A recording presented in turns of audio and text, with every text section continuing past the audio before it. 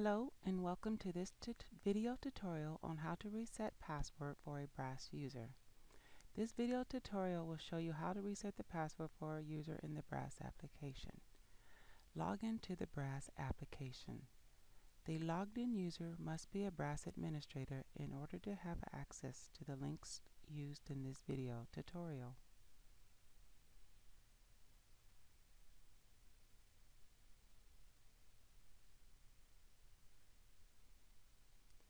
Click, click the left navigation link Administration Search Create Users link.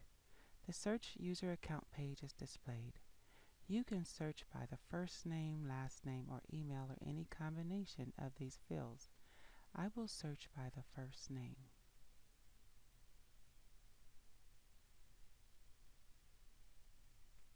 Click the Search button. The results of the search will display in the User Result area of the page. Click on the Reset Password link. Brass will display a validation message.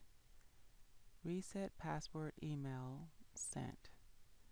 The user will get an email with a link in it for the user to finish the reset password process. See video User completes password reset process. Thank you for taking the time to watch this video.